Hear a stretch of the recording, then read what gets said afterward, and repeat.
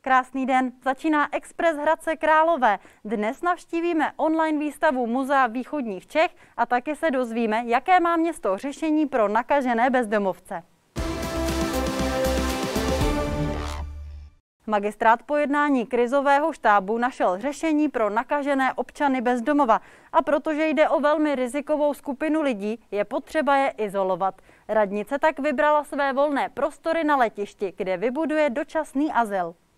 Speciální azyl bude v případě potřeby sloužit lidem bez přístřeší a taky těm, kteří byli vykázáni z důvodu domácího násilí a byla u nich potvrzena nákaza COVID-19 nebo jim byla nařízena karanténa. Město v první řadě poskytne objekt na letišti, který přes zimu využívá oblastní charita jako noclehárnu pro bezdomovce. V současné době vybavujeme tím nejnutnějším, tedy lůžky, pokrývkami, spacími pytly. Zařizujeme pro ně sociální zařízení a věříme, že budou mít kam se uchýlit, i když bychom byli velmi rádi, kdyby se, kdyby se toto zařízení vůbec nemuselo použít. Magistrát zajistí nakaženým jídlo, pití a teplo. Zařízená bude i ostraha celého objektu. Je zapotřebí tyto lidi do jisté míry izolovat, protože počítáme s tím, že tam budou ubytováni nemocní, u nichž ta forma bude probíhat tou lehčí formou. Po případě tam budou lidé, kteří budou v karanténě. Čili ta izolace je naprosto naprosto nezbytná. Zároveň nám jde samozřejmě o to, aby podmínky, ve kterých budou ubytováni, aby byly dostatečně důstojné. Ubytovna má kapacitu 25 lůžek. Magistrát má ale vytipované další prostory přímo na letišti. Ty bude potřeba vyklidit a dovybavit. Rychle se tak dá celková kapacita takovéhoto zázemí navýšit o dalších 60 míst. Prostory by v případě využití hlídala městská i státní policie. Muzeum východních Čech v Hradci Králové začalo nabízet online virtuální prohlídky výstav, a to prostřednictvím svých webových stránek. První výstavou, kterou můžete takto navštívit, je okolo Hradce a neb Hradečáci na kole.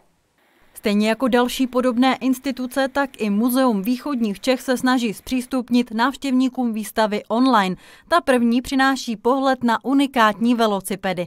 Virtuální výstavy nabízí prohlídku fotografií, dokumentů, sbírkových předmětů, případně i audiovizuálních materiálů a muzeum bude postupně zveřejňovat další expozice. Teď pracujeme také na možnosti podívat se tak trochu za přírodovědou a přírodou jako takovou, když už do ní tolik dneska nemůžeme, takže připravujeme přírodovědu v rouškách a rozhodně pracujeme i na zpřístupnění výstavy uprostřed koruny české, tedy té výstavy sezóny, která bohužel byla otevřena pouze měsíc a věnuje se gotickému a raně renesančnímu umění východních Čech.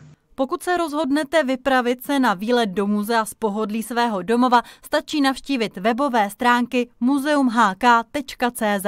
V sekci program pak najdete virtuální prohlídky a stránky vás dovedou nejen na výstavy. Máte možnost už teď tam také vyslechnout originální pohádku, audio pohádku, která se váže k publikaci, která vyšla také už po druhé, v druhém vydání v loňském roce v našem muzeu pohádky a bajky první republiky, tak naši edukátoři Veronika Nebeská a Martin Jakoubek načetli jednotlivé pohádky a budeme vám je postupně představovat. A pokud máte ratolesti, tak je rozhodně k tomu poslechu vezměte.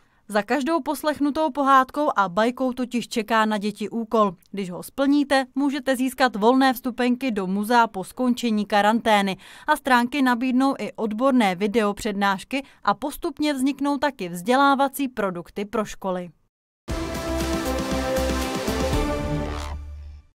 A pozvánkou na virtuální výstavy se s vámi rozloučím. Už za týden se na nás ale opět dívejte. Těším se na viděnou.